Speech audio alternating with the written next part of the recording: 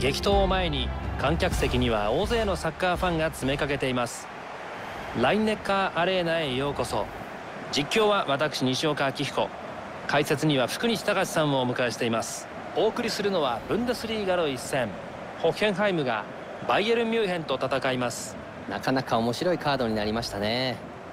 どちらのチームもいかにして主導権を取るか考えているでしょう。まずは序盤の作戦に注目していきましょう。シーズンはそろそろ終盤ですが上位陣は接戦ですね。なかなか差が開きませんね。皆さんにも手に汗握る優勝争いをお楽しみいただけそうです。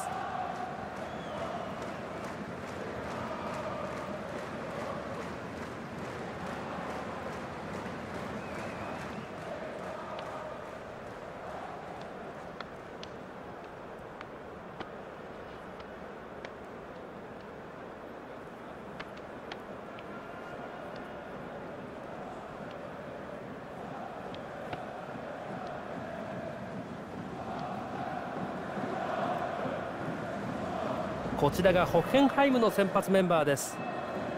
今日の陣形は一般的な532です。前線の選手には走力と運動量が求められます。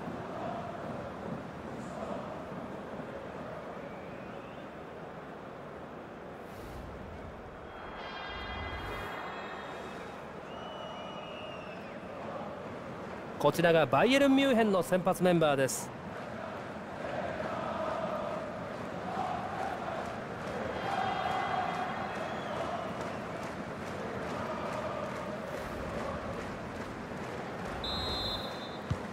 ボールが動いてキックオフ。試合開始です。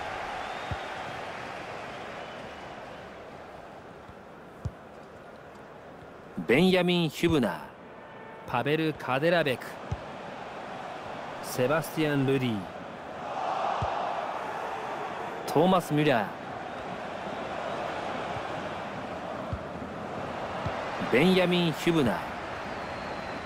パベル・カデラベク。レロイ・サネダビド・アラバサイドを崩してチャンスを作った。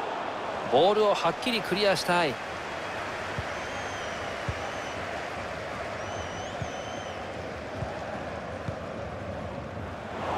ボールを失った。ムナス・ダブール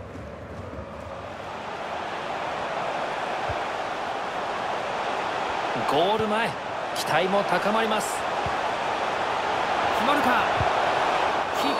主審が迷わずペナルティースポットを指さします。これで試合が決まるようなことにならなければいいですね。ファールです。迷うことなく PK を指示しました。ちょっと無理に行き過ぎましたね。カードが出ないのはラッキーでした。PK を止めた PK のピンチを見事に救いました。止めましたが素晴らしいセーブですね。見事に PK を止めました。よく止めました。ファインセーブです。ボールはエリアへ。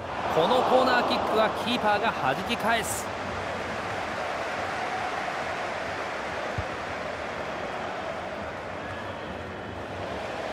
ベンヤミン・ヒュブナー。フロリアン・グリリッチュゴールに向かっています。ドリブルパス選択肢は1つだけではありません。勝ち越しゴールなるか。キーパーがクロスをパンチング。オフサイドの判定です。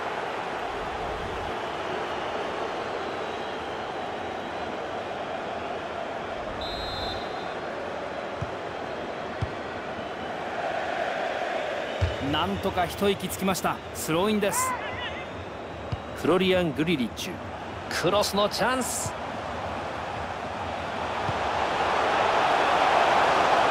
クリアしました。コーナーキックです。中に入れた。1点リードにできるか。これはダメです。勝ち越しならず。今のはもったいないですね。まあ攻められてはいるので気を取り直して次のプレーに集中しましょう。セバスティアン・ルディ相手が触ったボールはスローインになります。ダビド・アラバタミー・アブラハム。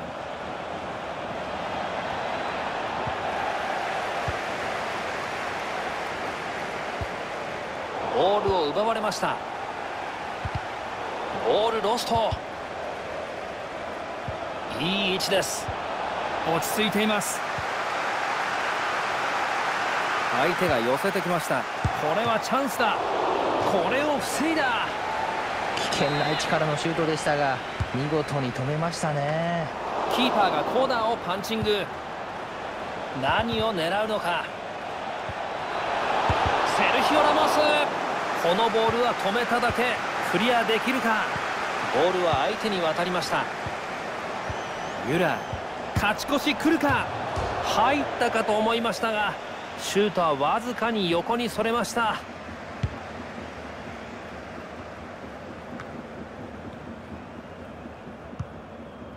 ムナス・ダブール。行くしかない。シュートを狙う。試合中盤ここで先制点が決まりました。嬉しいゴールですね。この得点が試合を大きく動かしそうです。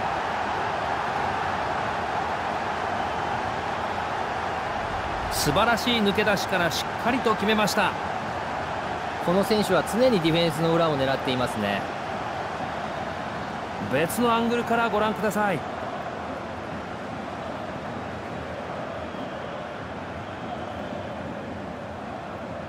リードを奪ってチーム全体に余裕があります。監督の表情も少し緩んだ気がします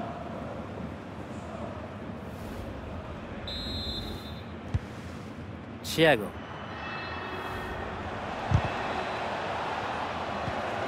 タミー・アブラハムセバスティアン・ルディうまく読んだインターセプトおっ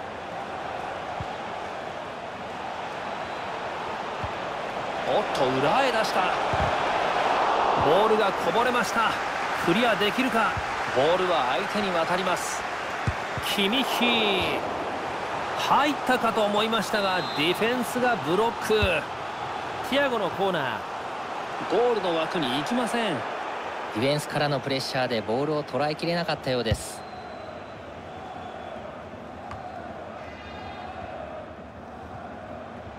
ボールをドリブルで運んでいます。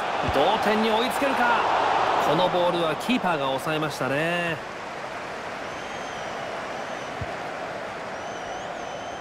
セバスティアン・ルディアンドレアス・クリステンセン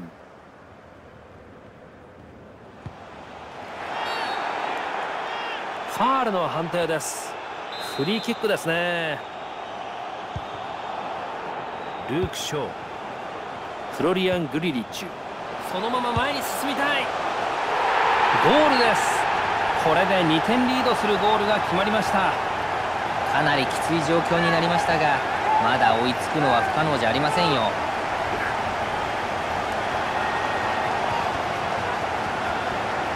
今日はこれで2ゴール目。ハットトリックもあるんじゃないですか。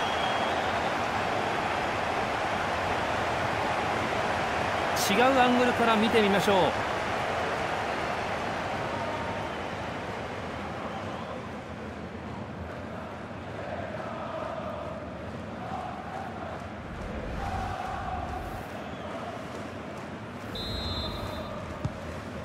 ティアゴ・アルカンタラ。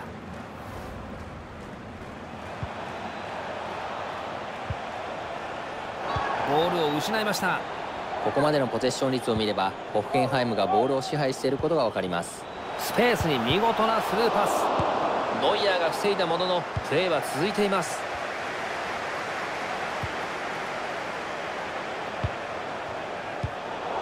カットしたのはセルヒオ・ラモスタミー・アブラハム。ここはインターセプト。しっかり予測していました。サイドが空いています。フロリアン・グリリッチ。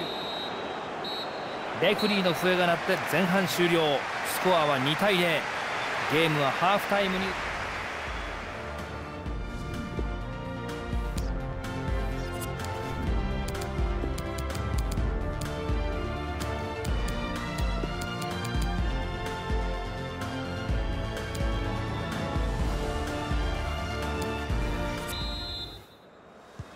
クオフで後半開始。バイエルン・ミュンヘンボールです。テクニックを見せる。狙っていましたね。狙った。見事なブロックです。フロリアン・グリリッチ。ュムナス・ダブール。このパスはチアゴが読んでいました。さあバイエルン・ミュンヘンが徐々に押し込んできましたボールは相手に渡りました。強く蹴りすぎたか。直接キーパーに渡りました。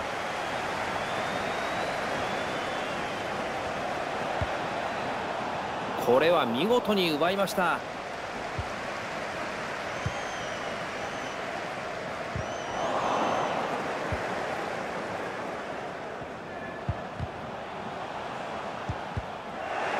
バイエルン・ミュンヘンパスをつなげない。どこまでドリブルするのでしょうか。セルヒオ・ラモスのファールです。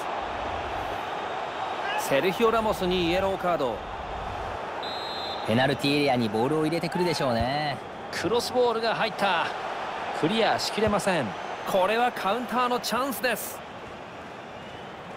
移籍に関してはささあどうする。おっとチャンスを作ったゴールはガラ空きでしたが絶好の得点チャンスを生かせません。キーパーはラッキーでしたね。相手のミスに助けられました。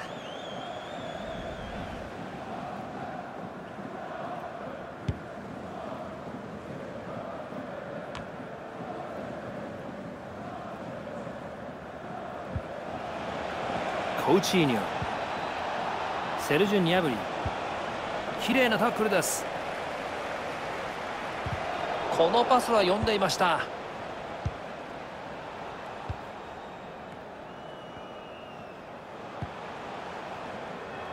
相手ボールになりました。視野が広い。仕掛けてくるのか。いいクロスが中に入った。これはキーパーが難なくセーブ。コースが少し甘かったですね。さすがにあれは決めさせてくれません。このボールは直接相手の選手へ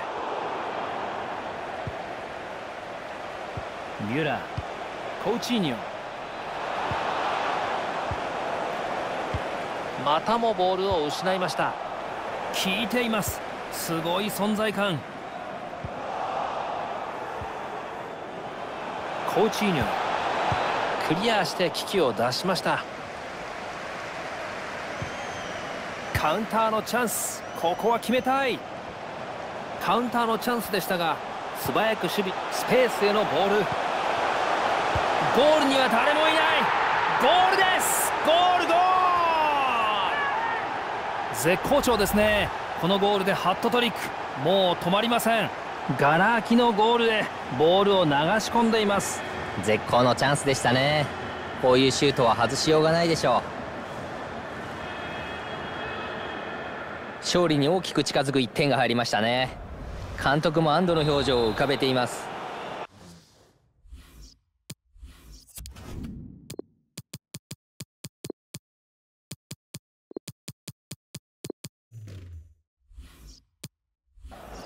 両チームの選手がピッチの脇で準備をしています。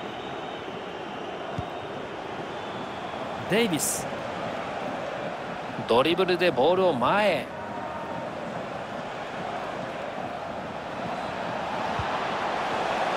相手が触ってボールが出ます。コーナーキックです。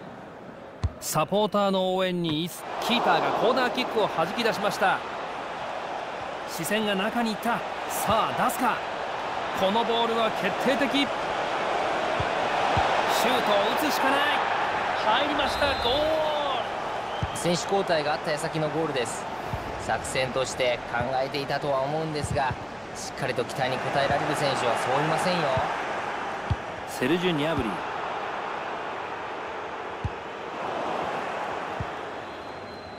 タミー・アブラハム。ロドリゲス。止めますやはり存在感が違います。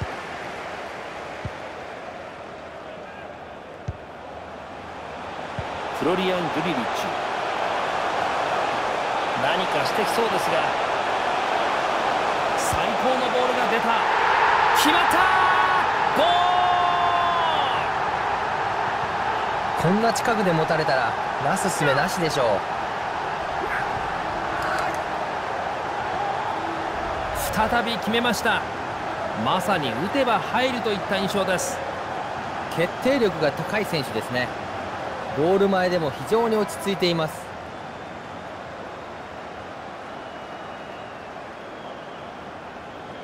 今日のチームの働きは監督としても満足のいくものだと思います。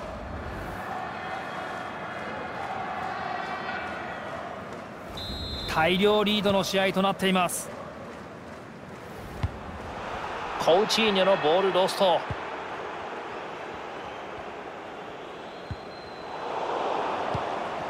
バイエルン・ミュンヘンがボールを失いました。ここでかわしました。これは狙えます。見事なタックル。ボールを取り返しました。セルジュ・ニャブリ。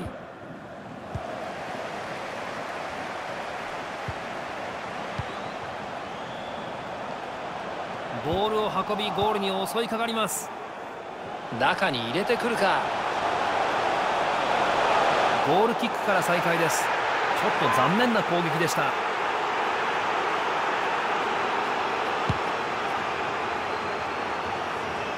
試合終了を意識し始める時間帯に入ってきました。福西さんここまでは一方的な展開になっていますね。はい。ここまで低調。裏も見えていたのかまだボールは生きています。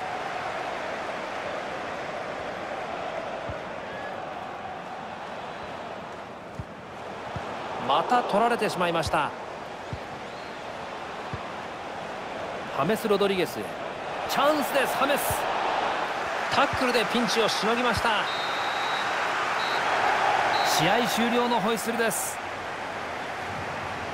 圧倒的な存在感を見せつけました。ご覧の通り絶好調でした。次々にゴールを決めてくれました。